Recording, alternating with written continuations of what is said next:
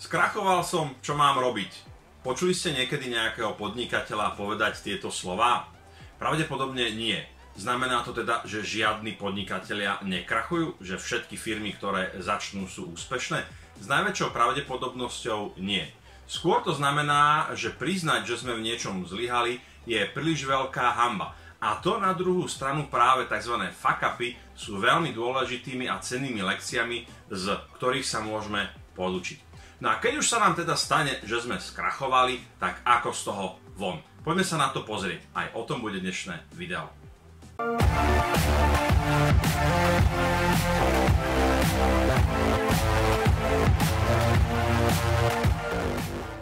Vítajte na videokanále Martina Prodaja, vítajte na mieste, ktoré je venované osobnému a profesnému rastu, kde sa venujem témam od zarábania peňazí až po zvládnutie meditácie. Ako som avizoval na začiatku toho dnešného e, videa, dnes to bude o tom, ako si poradiť so situáciou, kedy jednoducho skrachujeme. Poďme si najprv povedať taký ten e, možno zásadný fakt a totiž to, že v podnikaní je krach, nezdar, omyl, nepodarok, niečo, čo jednoducho k podnikaniu patrí tak ako sa dieťa učí chodiť, učí sa kráčať a k tomu neodmysliteľne patria nejaké tie pády, tak rovnako aj podnikaniu patria jednoducho fakapy alebo krachy. Nie je to nič výnimočné, nie je to nič zvláštne. Otázkou potom ale vždycky ostáva, keď už sa to stane, ako si z toho zobrať nejaké ponaučenie, eventuálne ako tomu v budúcnosti predísť. Poďme sa teda pozrieť možno na niekoľko elementov, niekoľko takých trikov alebo hackov alebo prístupov, ako si vlastne s tou situáciou, keď už sa teda dostaneme do toho okamžiku, kedy musíme povedať, že skrachoval som, ako si s tým poradiť. Poďme na to. Ako sa v čínskej medicíne hovorí, prevencia je vždy stokrát lepšia a výhodnejšia ako liečba. Pokiaľ podnikáte, tak hrozba skrachovania, krachu alebo nezdaru je niečím, čo vám v podstate neustále a permanentne vysí nad hlavou.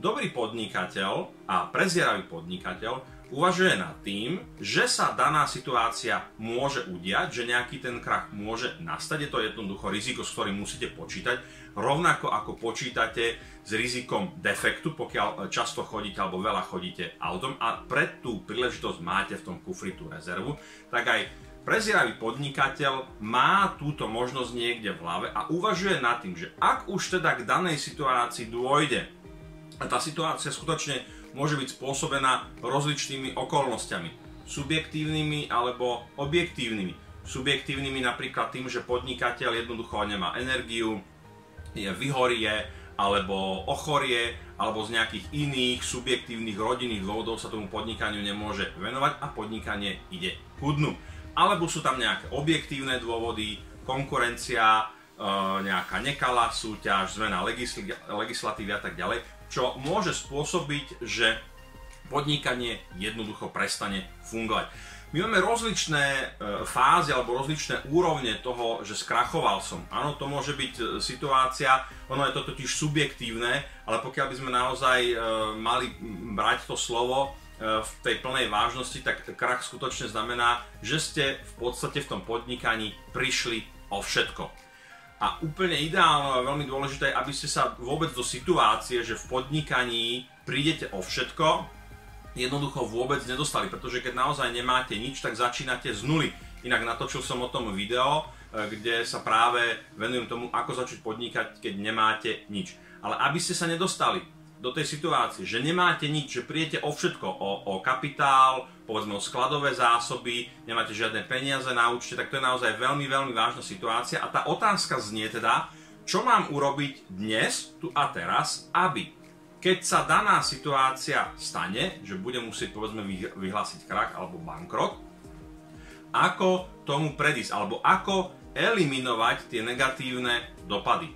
Jeden zo spôsobov je napríklad ten, že si vytvárate nejaký finančný buffer, neodkladáte nejaké peniaze práve pre tie situácie, kedy povedzme to podnikanie budete musieť z nejakého dôvodu napríklad zatvoriť úplne definitívne raz a navždy, alebo jednoducho skrachujete. Ale ak sa to stane a máte nejaký finančný buffer, nejaký polštář, nejakú podušku finančnú, tak sa môžete uh, oprieť, alebo môžete sa položiť do tej siete, ktorú máte a môžete začať to podnikanie budovať znovu. Ďalšia vec, ktorá veľmi pomáha hneď na začiatku ako také preventívne opatrenia, je, že máte niekoľko biznisov. Áno, ja si myslím a dovolím si tvrdiť, že väčšina slovenských podnikateľov sú v podstate takí renesanční ľudia, ktorí ovládajú množstvo umení, aj renesanční ľudia, umelci, maliari, ale zároveň aj e, tesári alebo sochári a tak ďalej, architekti.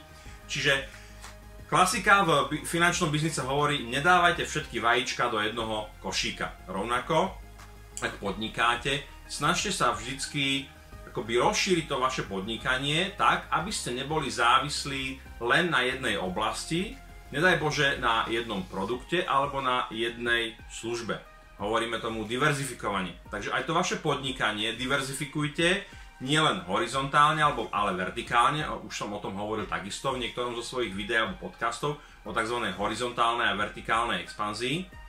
A snažte sa budovať typ podnikania alebo typ podnikaní, máte ich niekoľko a keď vám jedno, jedno skrachuje, keď vám jedno odíde, povedzme napríklad máte nejakú jednoduchú prevádzku, nejakú kaviareň a jednoducho vyprší vám nájomná zmluva alebo vás vytopí a tak ďalej a jednoducho vás to položí, tak okrem toho, že máte nejaký, nejaký finančný buffer, tak máte ešte aj nejaké sekundárne, terciálne biznisy, ktoré vám pomáhajú udržať sa nad vodou a povedzme prežiť nejaké ťažké obdobie. Čiže hovoríme na začiatku hlavne o prevencii, a o rozmýšľaní, o uvažovaní toho, že čo budem robiť, keď naozaj prídem o tú možnosť podnikať, skrachujem, nezostane mi nič. Je dôležité mať v rukách nejakú zálohu, nejaký backup. Samozrejme, hlavne teda je to o tých peniazoch, ale lepšie tie peniaze sa samozrejme budú míňať a pokiaľ rýchlo nevymyslíte niečo, čo vám tie peniaze opäť začne prinášať do toho podnikania,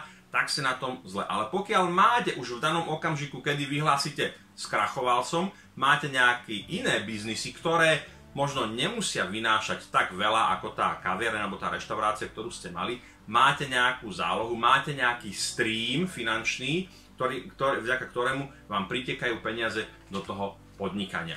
Takže toto je ten, podľa mňa ten základný bod, kedy hovoríme o prevencii. Ale prevencia samozrejme nie je všetko. Poďme sa pozrieť na tú situáciu, kedy naozaj sa to stalo a potrebujete jednať.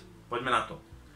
Ak už vyhlásite krach alebo zbankrotoval som, tak e, v tomto vyhlásení môže byť naozaj veľmi veľa rozličných odtienkov a nejakých elementov. Pre niekoho je to naozaj to, že mesiac mi neprišli žiadne zákazky a poviem skrachoval som, ale napríklad mám ešte nejaké aktíva v skladových zásobách, mám nejaké pasíva, povedzme v zamestnancoch, mám nejaké aktíva v dopravných prostriedkoch, v autách a tak ďalej. Čiže otázka je pri tom krachu, do akej miery naozaj môžem povedať, že nemám úplne nič a som hotový podnikateľský bezdomovec, alebo, a to je naozaj otázka takého kritického myslenia, si musím priznať, že napríklad uh, mám zdravé oči, uši, ruky, nohy a môžem napríklad pracovať, mám nejaké znalosti, mám nejaké skills, mám nejaké vybavenie, povedzme počítač alebo telefón alebo kameru na natáčanie nejakých videí.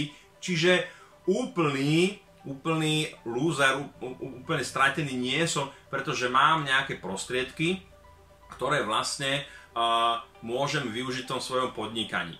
Predstavte si krách ako situáciu, kedy ste lekár na pohotovosti, možno v nejako, nejakej bojovej zóne a teraz naozaj e, vaša jednotka zažíva skutočne riadnu palbu a prichádzajú vám pacienti e, na to oddelenie. Vy ako lekár musíte na začiatku robiť veľmi rýchlu diagnostiku toho, že ktorý pacient môže počkať, také nejaká zlomenina, pokiaľ nie je otvorená, nejaké odreniny, uh, udretia a tak ďalej, nič vážne, tak to dávate niekam bokom do čakárne a čo je e, kľúčové, čo je kritické, to znamená, že tu na niekomu z krku strieka krv, alebo má nejakú dieru v bruchu, alebo otvorená zlomenina, tak to riešite ako prvé. Toto je metafora toho, čo by ste mali riešiť vo vašom podnikaní ako prvé. Tou životodárnou tekutinou v biznise sú peniaze, peniaze a náklady. To znamená, že pokiaľ vyhlásite krach, ocitli ste sa v kritickej situácii, životu nebezpečnej, podnikateľskému životu nebezpečnej a potrebujete najprv zastaviť alebo ošetriť tie najvážnejšie zranenia.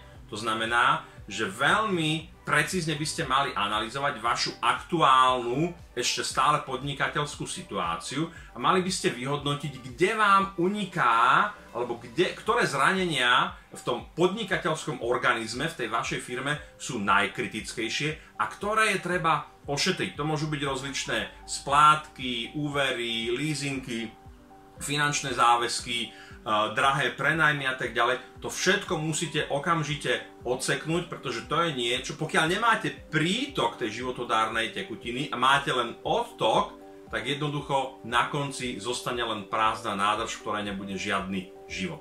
Čiže jedna z myšlienkových úvah, ktoré je dobré, e, na ktoré dobré je myslieť, je, že aj keď ste vyhlasili krach, tak to neznamená, že tou zotrvačnosťou to podnikanie ešte nedobieha. Sú tam nejaké záväzky, nejakí veriteľia, možno nejakí zákazníci. Toto musíte vysporiadať čo najskôr, aby ste sa naozaj minimálne dostali do situácie, kedy teda minim, keď už nič nepriteká z tejto strany e, toho finančného prítoku, tak aspoň nič neodteká. Hej.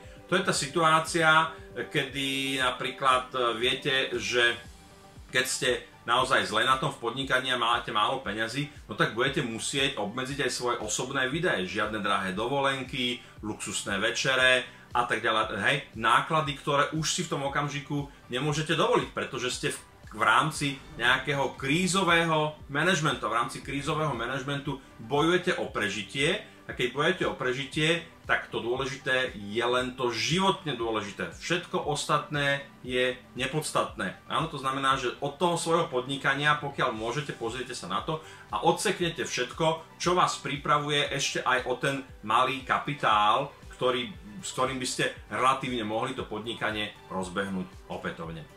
Takže toto sú také asi dve základné stratégie, bez toho, aby som chcel ísť do nejakej veľkej hĺbky, ktoré môžete použiť v situáciách, kedy o sebe vyhlásite, že uh, skrachoval som. Prvá sa týka tej prevencie a druhá sa týka uh, zachovania alebo limitovania alebo obmedzenia finančných tokov, ktoré vysávajú z toho vášho podnikania ešte nejaký kapitál, pokiaľ, pokiaľ tam je. No a možno by som povedal ešte, ešte tretiu vec je, že máte, alebo mali by ste mať, pokiaľ ste prezieravý podnikateľ, nejaký backup plán, máte nejaké streamy, ono to trošku súvisí s tou, s tou prevenciou a, a s tou predprípravou, pretože ako náhle nastane tá situácia, keď je potrebné e, kvázi vyhlásiť bankrot, tak sa obrátite na tie záložné riešenia, ktoré ste mali pripravené v tej situácii, kedy ste rozmýšľali nad tým, že čo budem robiť, keď sa stane toto a toto. Áno, a jeden z tých dôvodov napríklad je, že uh, si budete hľadať nejakú prácu Áno, prečo nebudete si hľadať, ste podnikateľ, ale potrebujete získať nejaký kapitál, keď už žiadny nemáte, jednoducho zdroje vyschli, no tak sa zamestnáte. V tom najhoršom prípade pôjdete za 3,50 vykladať alebo za 4 eurá pôjdete do Teska a budete vykladať tovar alebo si nájdete nejakú, nejakú stiahovácku brigádu a naakumulujete kapitál, aby ste mohli znovu začať podnikať a pokiaľ sa vám to už raz podarilo, že ste začali a nejak ste to rozbehli, tak je vysoká pravdepodobnosť, že sa vám to podarí opäť. Tak čo, páčilo sa vám video? Ja verím, že áno. Pokiaľ to tak bolo, nezabudnite dať lajka, prihláste sa k odberu, eventuálne navštívte moju webovú stránku martinprodaj.sk. Z mojej strany je to pre dnešok všetko a vidíme sa opäť na budúce pri ďalšom videu. Majte sa.